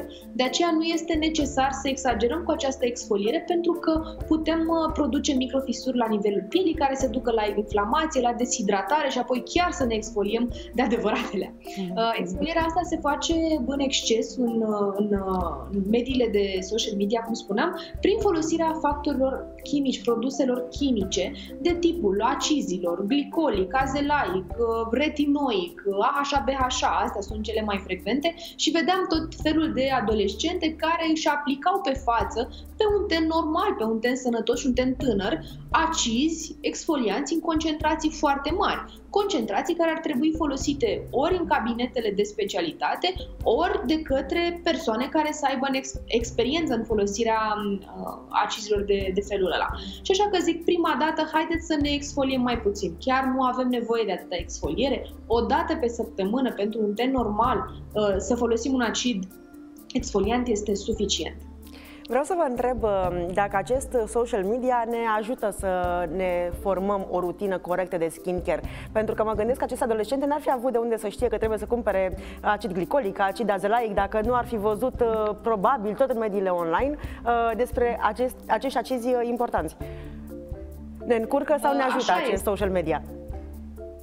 Uh, eu uh, sunt uh, o persoană foarte deschisă și foarte optimistă, mai ales că și eu am un canal de YouTube și eu am pagini de Instagram și atunci evident că încurajez lumea să se documenteze de pe aceste canale. Acum problema e de la cine ți informația.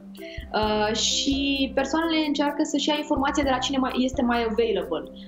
Adică nu mai urmăresc neapărat um, dacă persoana respectivă este avizată. Atât timp cât o văd activă și o văd că promovează și produse și că este implicată, încep să considere că deja are competențele necesare să facă asta, nu mai cercetează un pic și background-ul. Aici este de fapt problema. Medicii, în schimb, sau persoanele care chiar au cunoștințe în domeniu, din păcate, nu au foarte mult timp să facă asta uh-huh. pe, pe de socializare și atunci ies în față tocmai cei care au mai mult interes legat de partea de marketing decât de a ajuta cu adevărat și de a educa populația. Deci și ajungem și în al doilea punct pe care știu că l-ați menționat în acest articol interesant legat despre marketing și cercetare. La ce ați vrut să vă referiți? Uh, tocmai că omul, consumatorul de rând nu mai știe dacă momentul în care vede o cremă promovată este o recomandare din suflet, o recomandare sinceră sau este efectiv o reclamă plătită și ascunsă. Pentru că știm foarte bine că nu toate reclamele sunt marketate sau ca și reclame. Și atunci omul crede uh, că persoana pe care o urmărește, în mod sincer, vrea să-i recomande un produs pe care ea iubește și cu care se înțelege foarte bine. Uh, și aici este, de fapt, uh, problema și de asta am tras un semnal de alarmă că ar trebui să recomandăm, să urmărim persoane care sunt avizate, pentru că aici vine un pic și partea de responsabilizare. Medicii, noi, în mod special, nu putem să recomandăm produse pe care noi să nu le, sau în care să nu avem încredere. Pentru că vorbim totuși despre sănătatea omului și avem ceea ce numim noi etică medicală uh, și ne împiedică uh, să facem lucruri de genul ăsta. Pe când majoritatea, acum suntem foarte sinceri, privesc în mod special partea financiară în urma colaborărilor cu diverse branduri de skincare. Și mai mult decât atât, în momentul în care avem o consultație directă cu un medic, acesta își poate crea acea imagine big picture, astfel încât uh, tratamentul pe care îl oferă pacientului să fie unul nu doar avizat, ci și în deplină cunoștință de cauză, pentru că această consultație se întâmplă într-o manieră corectă și concretă pentru pacient. Categoric. O consultație trebuie să fie clar uh, confidențială, față în față cu, cu medicul, medicul cu pacientul, ca să putem analiza tipul de ten, să vedem istoricul medical, să vedem dacă nu cumva există reacții alergice uh, la anumite produse și apoi putem alcătui o rutină de îngrijire. Numai că omul cam vrea să șunteze partea de uh, consultație, de multe ori din comoditate, este mult mai comod să vezi tot felul de produse recomandate și tu să-ți alegi câteva, să le încerci și te mai gândești apoi dacă ajungi la medic. În calea cea mai simplă și cea mai economă până la urmă este să urmezi uh, direct uh, calea cabinetului uh, și să discuți cu un profesionist de la început pentru că te salvează de multe bătăi de cap. Știi măcar că dacă ai o problemă, tu ai pe cine să întrebi și poate să te ajute dacă tu dezvolți o reacție alergică la un produs cosmetic. Medicul este singurul în măsură în care, uh, care poate să te ajute să rezolvi uh, situația. Dacă tu cumperi o cremă de pe net fără nicio recomandare, atunci va trebui să te descurci singur. Corect. 2020 a fost un an în care am petrecut foarte mult timp acasă și această rutină de skincare ne-am dezvoltat-o cumva singuri, informându-ne singuri, uh, dar și uitându-ne în frigider, găsind tot felul de ingrediente și dând un scurt search pe Google, am descoperit că le putem folosi și pe față, nu doar în farfurie. Știu că aveți o părere și despre acest lucru pe care vreți să-l schimbați. Despre ce este vorba? Faptul că am stat acasă și având mai mult timp liber ne-a, ne-a dat și foarte multe idei. și pe lângă faptul că poate ne-am mai apucat de sport, uh, am făcut și lucruri pozitive, uh, din păcate ne-a trezit interesul și uh, lucrurile pe care le avem în frigider, am zis să nu pierdem nimic, totul se transformă. Și am tot făcut măști din acestea homemade, despre care nu am mai discutat oricum într-un, într-un clip mai vechi, că este iarăși un trend pe trend care eu consider că ar trebui să dispară. Uh-huh. Deci avem așa de multe branduri în ziua de astăzi cu produse corect formulate, cu produse care sunt studiate, încât nu mai merită să facem noi experimente acasă. Și vreau să dau și un exemplu, acela legat de lămâie, pentru că toată lumea știa că dacă spui lămâie pe față, îți vindecă și acnea, îți vindecă și petele pigmentare. Însă, dacă stăm un pic și studiem cu adevărat ingredientele lămâii, vedem că uh, acidul citric, uh, acidul ascorbic sunt concentrații așa de mici în lămâie, încât practic noi nu avem rezultate, ba chiar putem să avem efecte iritative. Așa că este mult mai bine să uh, cumpărăm o mască cu ingrediente stabilite, care să conțină chiar mai puțin iritanți și să nu avem uh, efecte adverse. Pe scurt, nu mai folosiți mâncarea din frigider pe față, mâncarea are alt scop. Pentru partea de skincare există produse care sunt formulate corect, care sunt stabilizate și care se pot aplica în siguranță pentru că sunteți un medic uh, evident corect și asumat și pentru că își dorește ca pacienții lui să fie informați, nu sunteți de acord nici cu uh, acea uh, supralăudare a unor produse și o supraapreciere a lor. Ce aveți de gând să faceți în această direcție și ce ați simțit da, e un subiect interesant și acesta, pentru că vedeam foarte multe filmulețe în care se exagerau uh, efectele adverse ale, efectele benefice, pardon, ale produselor. Uh, de exemplu, un ulei care te-ar scăpa de riduri, îți ridică pielea, îți... Și atunci mă gândesc că poate o persoană obișnuită ar fi tentată măcar să încerce, mai ales că majoritatea produselor nu sunt costisitoare. Uh, ideea a fost ca să ajungă la populația generală. Și dacă toată lumea cumpără, bănuiesc că este profitabil pentru, pentru cel care a făcut astfel de, de reclamă, dar uh, li se exagerează foarte mult efectele benefice. Eu, ocupându-mă de partea injectabilă, cel mai mult în clinică, adică acid hialuronic toxină botulinică, am fost uimită să văd cum anumite creme Uh, promiteau că uh, estompează riduri adânci, cum sunt șanțurile nazolabiale sau ridurile de pe frunte, ceea ce nu este posibil, pentru că ridurile apar în timp, apar uh, din cauza unor modificări globale în ceea ce privește structurile feței, osul se resoarbe, mușchii încep să devină mai contractivi, ligamentele se lasă, pielea se lasă și așa mai departe. Și atunci nu poți cu un produs cosmetic să ai toate aceste beneficii în afară chiar se pedepsesc destul de tare lucrurile astea în momentul în care un produs spune că poate să facă mai mult decât uh, ceea ce face. La noi reglementările nu sunt, să spunem așa, de bine stabilite, însă sunt măsuri pe care uh, putem să le luăm prin trimiterea de sesizări de acest tip. Deci asta putem să facem noi și nu eu ca medic, ci toți care observăm astfel de nereguli să putem să facem sesizări. Știu că vă plac pacientele informate, vă plac și pacientele care își doresc să pună în practică informațiile pe care le află uh, și am dezvoltat din ce în ce mai multe femei această rutină zilnică de îngrijire a pielii. Cu toate acestea, pentru că ne dorim absolutul și excelentul, uh, poate de multe ori exagerăm. Ați observat acest lucru în 2020? Uh, categoric, o exagerare masivă, pentru că având mai mult timp liber, stând mai mult acasă, am început să ne și documentăm mai tare. Uh, oferta de produse cosmetice este foarte mare, abundă. Cum spuneam, uh, datorită concurenței, prețurile au scăzut uh, foarte mult și atunci produsele în general sunt mai affordable decât înainte. Și atunci tindem să ne tot cumpărăm și să punem layer peste layer, strat peste strat, în ideea că poate unul dintre produsele ar funcționa și pentru noi Uh, numai că, din păcate, încep să se exagereze cu aceste produse de exfoliere, cum spuneam. Și atunci tu îți distrugi bariera pielii, cea care e menită să-ți ofere protecție, așa încât orice îi pune pe față devine până la urmă un uh, sensibilizant. Și atunci pacientele ajung la, uh, la medic să rezolve uh, afecțiunea tenului. Recomandarea mea este în continuare să ne documentăm, e bine să fim informate, tocmai ca să nu mai cădem în astfel de capcane ale marketingului exagerat, ale lucrurilor care țin de claims, adică de uh, promisiuni uh, exagerate dar în același timp, uh, așa cât putem noi, uh, ar fi să ne facem o rutină simplă. Eu consider că un produs de curățare, uh, o cremă hidratantă și o cremă de protecție solară sunt bazele unei rutine corecte și simple. Ulterior, încet, încet, putem într-adevăr să adăugăm și un produs exfoliant, dar asta trebuie să se întâmple foarte rar. Suntem încă în această pandemie, unii își petrec încă activitatea acasă și de acolo lucrează, deci practic suntem uh, expuși în fața unor uh, ecrane. Aveți o opinie și despre acest lucru? Da, uh, faptul că stăm foarte mult în fața calculatorului, sigur că ne influențează deciziile de zi cu zi.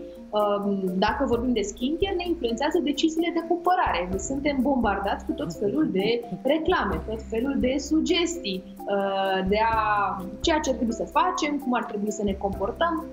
Dar noi trebuie să, în general, să încercăm să ne păstrăm echilibrul în toate. Și cred că asta ar trebui să fie una din uh, rezoluțiile pe 2021, să fie ceva realist și să spunem așa, anul ăsta aș vrea să cumpăr poate mai puțin, dar ceea ce cumpăr să fie pentru mine, să fie potrivit mie și să am siguranța că o să-l folosesc. Și poate nu doar la skincare, ci la orice, la haine, la mâncare. Eu cred totuși că 2020 uh, ne-a mai responsabilizat aici colo și ne-a arătat că noi putem să trăim foarte bine cu mult mai puțin. Ce ne puteți uh, spune, și este ultima întrebare pe care vă adresez astăzi, uh, despre fotosensibilizare? Uh, fotosensibilitatea este o problemă adevărată, reală. Înseamnă practic că o piele a unei persoane este mult mai sensibilă la radiațiile ultraviolete și se întâmplă de multe ori în momentul în care suntem pe anumite tratamente sau anumite medicamente care sunt fotosensibilizante. Dacă mă refer la tratamentele pentru afecțiuni cutanate, în special anumite antibiotice sau derivați de vitamina A pe care noi îi prescriem în anumite forme de acne, dar uh, poate să apară și reacții uh, în momentul în care folosim produse topice, de exemplu produse cu retinoize, apropo de acești acizi exfolianți, sau uh, mai există o reacție foarte periculoasă în momentul în care ne facem noi aceste măști homemade, Uh, care să conțină vitamina C, adică acid ascorbic, cum este, de exemplu, lămâia, pe care dacă nu o plătești de pe față și uh, te vede soarele cu restul de lămâie, poți dezvolta uh, o fitofotodermatoză, ceea ce înseamnă o reacție alergică, o reacție foarte severă, fototoxică la radiații ultraviolete, cu vezicule, cu bule, durere intensă și care poate lăsa chiar semne. Doamna doctor, am promis că este ultima întrebare, dar nu mă pot abține. Încă avem acea idee preconcepută conform căreia un produs uh, scump este și un produs bun. Uitându-mă pe Instagram noastră am observat produse de toate felurile, de la cele mai uh, ieftine, dar bune, până la cele mai scumpe și fițoase, cum ne, le numim noi. Ce direcții ne puteți trasa în această privință a prețului? Am mai menționat că un produs uh, scump nu mai este neapărat un, un produs bun și invers, pentru că Uh, brandurile au început să-și dezvolte game care să fie cât mai bune, cât mai competitive pe piață. Atunci avem și produse ieftine și bune. Fiind atât de multe, este greu să alegem. Deci doar dacă începem să ne documentăm și să începem să căutăm aceste ingrediente corecte și să evităm ingredientele periculoase pe care eu tot timpul le menționez pe pagina mea de Instagram, adică parfumul, alcoolul, uleiurile esențiale, pentru anumite fototipuri, pentru persoanele sensibile, pot provoca probleme. Și atunci aceste persoane trebuie efectiv să urmărească uh, ingredientele și să încerce să le, să le evite.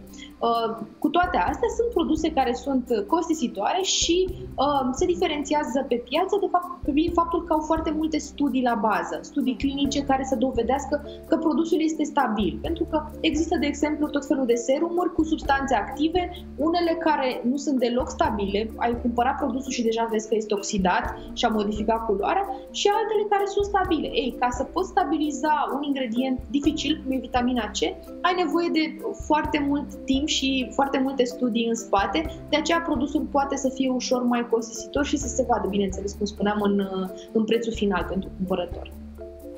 Vă mulțumesc tare mult. În ediția de astăzi voi mai vrea un interviu cu dumneavoastră pentru că avem nevoie despre, de informații despre această vitamina C pe care foarte multe femei și-au adăugat-o în rutină, dar poate fără să aibă o indicație directă. Vă mulțumesc mult pentru deschidere și pentru că veți mai rămâne cu mine. Mai tu rămâi bineînțeles cu noi pentru că evident continuăm ediția Mensana. De la stimularea producției de colagen până la diminuarea semnelor de îmbătrânire și corectarea petelor pigmentare, vitamina C este un ingredient extrem de eficient folosit în îngrijirea pielii, având o mulțime de beneficii. Există o multitudine de mituri și informații eronate cu privire la vitamina C. De aceea este important să înțelegem și să știm adevărul despre beneficiile serumurilor cu vitamina C.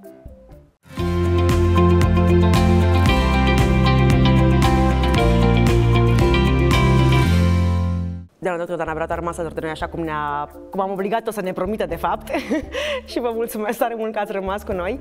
Uh, vrem să aflăm aceste detalii importante despre vitamina C pe care o adăugăm în rutina noastră. Uh, suntem obișnuiți să auzim despre vitamina C când vorbim despre imunitate. Acum vorbim despre skincare, despre îngrijirea pielii. Uh, cum ne ajută asupra pielii această vitamina C? În primul rând vreau să menționez că cel mai important uh, aspect uh, pentru piele este să folosim vitamina C topic, adică vorbim clar de vitamina C care se aplică pe piele, în serumuri, în creme și așa mai departe. Nu despre vitamina C pe care noi o putem lua din diverse fructe și așa mai departe. Nu. Deci doar vitamina C topică pentru că ea ajunge direct la sursă, adică direct la pielea noastră și este un ingredient uh, foarte bă, discutat în ultimul timp pentru că toată lumea are impresia că are nevoie de de vitamina C. A ajuns așa de uh, controversat, așa de dezbătut, încât nu există persoane care uh, să nu-mi scrie pe Instagram, aș putea să-mi introduc și eu vitamina C în rutină. Da, și aici sunt vari- variabile. Am acne, am pete, am uh, hiperpigmentări de la soare. Da? Uh, vitamina C este un ingredient foarte bun dacă îl folosim cu grijă. De ce este foarte bun? Pentru că el, în general, într-adevăr, oferă luminozitate chipului, iar majoritatea dintre noi ne dorim un chip care să fie glowy, să fie luminos, să, să fie radiant. Uh, vitamina C ne ajută și în prevenirea adâncirii ridurilor. A nu se înțelege că dacă pui vitamina C pe un rid, uh, ridul acela va dispărea, în niciun caz. Uh, ajută și la petele pigmentare pe care le-am dezvoltat de-a lungul timpului prin fotoîmbătrânire clasică și când mă refer la fotoîmbătrânire, mă refer la expunerea de-a lungul timpului la soare, intermitentă. Adică nu mai mergem noi vara la plajă și nu folosim SPF corect, ei, în timp pot apărea acele pete pigmentare pe care noi le mai numim și pete pete de bătrânețe. Vitamina C aplicată topic poate să ajute la estomparea uh, acestor pete. De asemenea, ea potențează și uh, efectul protector al produselor cu factor de protecție solară, pentru că este un antioxidant foarte bun. Uh, calmează roșeața, aviz persoanelor cu ten sensibil, uh, care este asociată cu stresul oxidativ, aviz fumătorilor. Da? Pentru că fumătorii, în general, uh, dezvoltă mai multe probleme probleme ale pielii, radicalii liberi de oxigen pot fi neutralizați cu produse antioxidante, cum este vitamina C, repet, aplicat uh, local. Acum, dacă ar fi să alegem un produs cu vitamina C, uh, trebuie să avem mare grijă cum îl alegem, că aici este cea mai mare problemă legată de acest uh-huh. produs, care se găsește uh, și se promovează de foarte multe branduri. Problema vitaminei C este că nu e stabilă. Este foarte greu să o stabilizezi în laborator pur, nu e suficient să storci o lămâie, apropo, și să zici că gata, ți-ai făcut un serum cu vitamina C, el trebuie să ajungă la o concentrație care să fie optimă pentru piele. Iar concentrația pe care la care pielea reacționează este o concentrație între 5 și 20%. Ca să ne facem o idee, o lămâie, da, conține 0,04% vitamina C. Ori noi avem nevoie de minim 5 ca să facă ceva. Deci de asta nici nu are rost să ne mai gândim la măști homemade și la fructe pe care să le punem pe față sau să ne preparăm noi în casă cu atât mai puțin.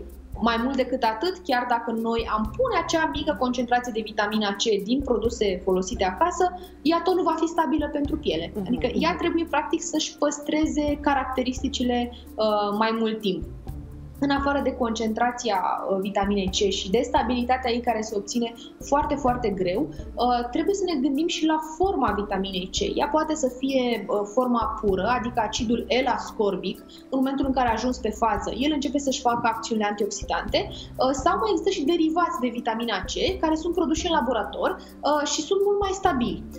Dezavantajul e că sunt mai puțin potenți, adică ai nevoie de mai mult timp, să spunem, să-i folosești ca să vezi rezultate răutate, dar poate să fie o variantă bună pentru persoanele cu ten sensibil. Pentru că nu orice ten poate să tolereze vitamina C. Vitamina C iubește să, sau lucrează foarte bine la un pH mai scăzut al pielii, uh, ceea ce pentru tenul sensibil poate să fie problematic. Și vreau să menționez persoanele care au cuperoză, adică rozacee sau alte afecțiuni inflamatorii unde bariera pielii deja este ușor uh, compromisă. Și atunci trebuie să avem grijă când punem un acid. Vitamina C până la urmă asta este. Și ca o soluție pentru cei care au un ten mai sensibil ar fi să introducă vitamina C în rutină dacă au pete pigmentare, ten neuniform, așa cum am menționat uh, mai înainte, dacă sunt fumători, dar să încerce poate cu acești derivați de vitamina C. Cum își dau seama? Păi se uite pe ingrediente. Dacă am văzut acid L-ascorbic, este vitamina C pură și este, poate fi iritantă. De aceea putem să, să cumpărăm, de exemplu, ascorbil palmitat, care este o, un derivat mai slab de vitamina C, dar eficient. Vreau să vă întreb înainte de a aduce în atenția noastră o listă de mituri pe care am găsit pe internet, pentru că, bineînțeles, așa cum ne-ați spus, acest ingredient este mult discutat în ultima vreme. Vreau să vă întreb dacă este necesar totuși un consult medical înainte de a hotărâ să adăugăm acest ingredient în rutina noastră eu consider că, în general, e bine să ceri sfatul medicului, mai ales dacă tu ai un istoric de afecțiuni cutanate, dacă ai un medic dermatolog care te vede, te știe, e mai bine să-l întrebi pentru început. Acum, dacă avem un ten normal și ne documentăm și vedem că, totuși, putem să alegem produse care să fie mai blânde pentru început, să știm aceste reguli de bază în skincare, atunci eu cred că pot să încep totuși o rutină cu vitamina C. Secretul la ea este să o începi treptat, să nu începi să o aplici în fiecare seară. De două ori pe săptămână, vezi cum pielea o tolerează, dacă ai reacții la ea, dacă nu, poți continua. Și începem lista cu primul mit pe care eu l-am notat astăzi.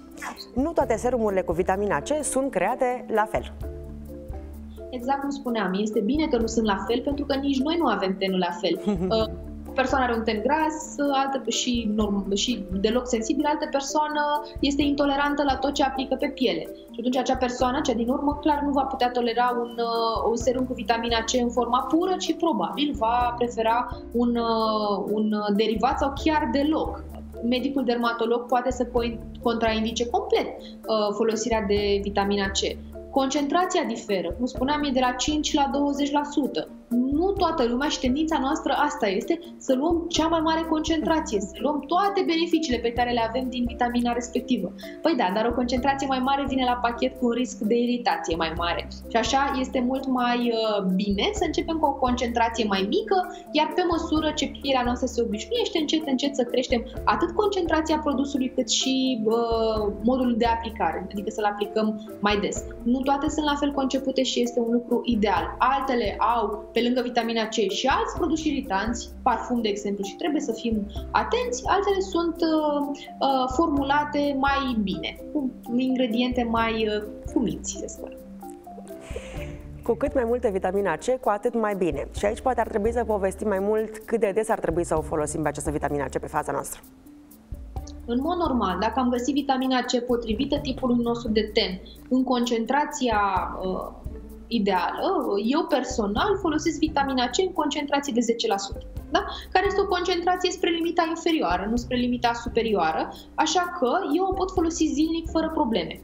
Vitamina C se poate aplica, și asta este avantajul ei, atât dimineața cât și seara, uh, nu trebuie aplicată seara cum se aplică alți acizi uh, care sunt exfolianți, Uh, putem alege ori dimineața, ori seara, ori uneori putem să facem asta și dimineața și seara, însă recomandarea mea pentru orice începător în uh, folosirea vitaminei C este să o folosească în mod special seara și nu în fiecare seară, să lase pauze în care să pună doar cremă hidratantă, adică cumva pielea să se refacă, să, să, să-și revină integritatea barierei uh, epidermice. Mulțumesc! Următorul mit. Serumurile cu vitamina C sunt fotosensibilizante.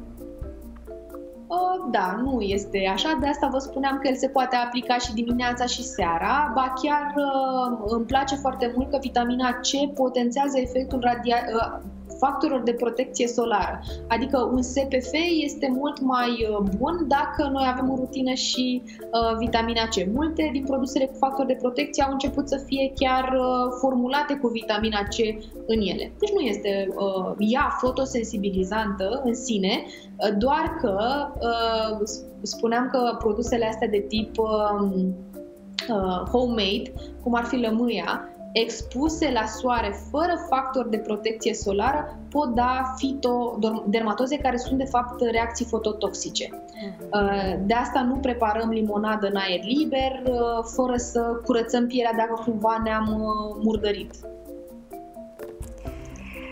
Produsele cu vitamina C sunt potrivite tuturor tipurilor de ten. Uh, nu e chiar așa, pentru că, uh, cum spuneam, dacă mergem pe vitamina C în forma ei pură, L-ascorbic acid și alegem și o concentrație mai mare, cei care au un ten sensibil uh, au de suferit, Vitamina C nu merge pentru toată lumea, trebuie să înțelegem asta și uh, să nu exagerăm totuși beneficiile. O persoană cu acne, de exemplu, poate ar beneficia de alte ingrediente care să aibă proprietăți antiinflamatorii sau cheratolice, adică să exfolieze ușor ca să nu se mai formeze aceste comedoane, decât beneficiul pe care l-ar putea aduce efectul antioxidant al vitaminei C. Deci ea este potrivită în general unui ten matur, dacă ar fi așa să creăm un fototip, uh, să spunem al pacientului pacientului care ar putea începe uh, o rutină cu vitamina C, vorbim despre un ten matur, un ten care este mai tern uh, sau poate care are pete pigmentare și dorește mai multă luminozitate.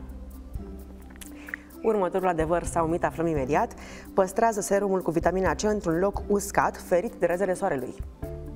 Da, este foarte important și bă, oricum majoritatea produselor vitamina C vin în uh, sticluțe care sunt închise la culoare sau sunt, uh, sunt vopsite tocmai ca să nu intre lumina prin ele. Uh, ele trebuie ținute în mod ideal la o temperatură normală, la temperatura camerei uh, și asta, asta este un punct foarte important pe care aș vrea să-l menționez, că diverse branduri de skincare îți recomandă cum să păstrezi vitamina C. Foarte multe spun să-l păstrezi la frigider, da? pentru că formula pe care i-au găsit-o este stabilă la temperaturi uh, scăzute altele spun e suficient la temperatura camerei, dar să le ferești de radiațiile ultraviolete. Uh, aici vine puțin uh, în discuție, să spunem, calitatea produsului, pentru că eu clar aș alege un produs care se recomanda să se păstreze la temperatura camerei, decât unul care mi se recomandă a ține la frigider. De ce? Pentru că eu nu știu cum el a fost transportat din momentul în care a fost produs. Cu siguranță n-a stat tot timpul la acele temperaturi, pentru că a mai fost pus și pe raft, s-a mai plimbat una alta, uh, până a ajuns la mine, clar, nu, din momentul în care l-am comandat până la ușă nu a venit în uh, frigider, a venit prin, într-un colet normal, printr-un curier. Și atunci mă, îmi pun probleme cu privire la stabilitatea produsului respectiv, mai ales că și eu când îl folosesc, nu? Îl scot din frigider, mi-l pun pe față, îl bag iar, deci mai durează câteva minute când el stă la temperatura camerei. Și atunci îmi pun, uh, cum spuneam, probleme cu privire la uh, formulare, la stabilitate și cred că ideal ar fi să mergem pe produse care să nu aibă atât de multe restricții de utilizare. Mulțumesc! Vitamina C poate fi folosită doar iarna. Uh, se poate folosi și vara și iarna. Dacă nu are nicio contraindicație cu privire la expunerea solară, uh, eu cred că putem folosi pe tot parcursul anului ca parte integrantă a rutinii noastre obișnuite. Serumurile cu vitamina C au doar efect anti-aging ar fi bine să aibă doar efect anti-aging, dar ele nu prea au efect uh, anti-aging, deci vitamina C în mod special uh, dă acest efect, cum spuneam, de luminozitate uh, și ar putea să prevină adâncirea ridurilor dacă tu ai aplicat vitamina C. Când ridurile sunt deja formate, uh, putem fi convinși că efectul va fi aproape nul pe ceea ce înseamnă uh, anti-aging, uh, riduri fine. Deci ea este folosită ca o metodă de prevenție. De asta este ideal să ne începem rutina undeva pe la 20-30 de ani, rutina de îngrijire în general, nu doar cu vitamina C, pentru că deja un ten matur de multe ori are nevoie de mai multe decât creme și aici intrăm un pic în, în partea mea și anume în uh, industria, să spun, uh, injectabilă, cu acid hialuronic, toxină botulinică și așa mai departe. Vă mulțumesc tare mult, mai am un singur mit. Vitamina C trebuie să fie folosită înainte de crema hidratantă. Uh, nu este o obligație să facem asta, important este forma, important este forma în care vine vitamina C. Dacă, de exemplu, ea uh, a venit sub formă de serum, în general, serumurile, fiind mai fluide, ar trebui aplicate înainte de cremă. Cam asta este ordinea. Ne spălăm pe față, aplicăm un toner sau un serum, Uh, după care aplicăm crema hidratantă. Deci dacă vitamina C vine sub formă de serum, da, o să o aplicăm uh, pe față prima dată. Dacă vine într-o formulă mai cremoasă, putem pune și uh, ca pas ulterior al rutinei. Vă mulțumesc mult, îmi pare rău că televiziunea ne limitează puțin accesul la informație, să spunem, adică nu putem discuta concret pe branduri și produse pe care să le putem aduce și analiza în platou, dar încurajez pe cei care ne urmăresc în acest moment să vă uh, viziteze profilul de Instagram, de YouTube, pentru că acolo veți avea tot felul de filmulețe interesante unde veți putea descrie toate aceste branduri, toate aceste produse pe care le putem găsi pe piață și de multe ori suntem puși în dificultate pe care să le aleg. Vă mulțumesc pentru activitate, pentru deschidere și pentru că ne oferiți răspunsuri de concrete și valabile. Vă mulțumesc și eu tare mult pentru invitație și noi o să ne vedem în continuare pe Instagram, o puteți urmări la Dana Brat. Vă mulțumesc mult de tot! Tu rămâi cu noi pentru că, evident, continuăm ediția Mensana. Dacă nu-ți place situația actuală, atunci fă o schimbare. Nu ești un copac, spunea Jim Ron. Sunt Consuela Bălașa și îți doresc o săptămână în care să faci schimbările pe care tu le dorești pentru a deveni o variantă mai bună și mai sănătoasă a ta. Îți doresc o zi pe gustul inimitare, dar și o săptămână trăită așadar responsabil. La revedere!